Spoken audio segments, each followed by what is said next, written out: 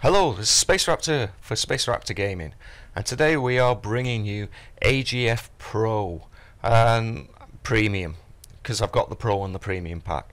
So what is AGF Pro and Premium? It's basically game designing software. So I'm loading a few environments up here, and I'm just going to be kind of showing you around an environment here. I've only been working with this uh, for one one evening. I've, I've just got this software now, but I was so stoked with it as the first impressions. I, I just kind of wanted to uh, show you guys, because yeah, I used to get. Basically, I used to design games uh, at 14, 15 years old. I, I used to design them on an Oric 1, and I used to code in BASIC. Now, obviously, it's gone to C++ and uh, you, are working with 3D environments and polygons and all that business and it's all got way more complicated. And to build a first person shooter from scratch it's probably going to take you an extremely long period of time by yourself. You could be working on it for six seven eight years. So and I wanted kind of a faster way around that. And this is what this software does. It, it's kind of basically a white box where you can start building blocks and start building your own environments.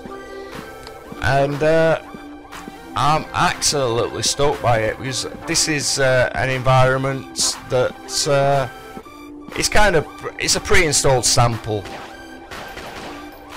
And as you can see none too shabby it's working off the Unity 4 engine, and it's a really powerful engine. Is the Unity 4? It's a free engine as well. A bit of a glitch there, but I think it's me. That's a problem with uh, my capture card. Not really liking uh, working with the software. I kind of had to put it in window mode to uh, show you all this. So, yeah. I'm very, very impressed indeed. And uh, I'm going to be bringing you a few videos on this now. You know, because I, I kind of wanted a direction for my YouTube channel, and uh, I, I think as well as gaming, because I'm always going to be a gamer and that, I, I really wanted to create something and really uh, create environments from scratch, etc., that I can come in and yeah, basically show people. So there's no content or copyright problems or anything like that. I can just load in my own environments and like show you whatever I'm building at the time. You know what I mean?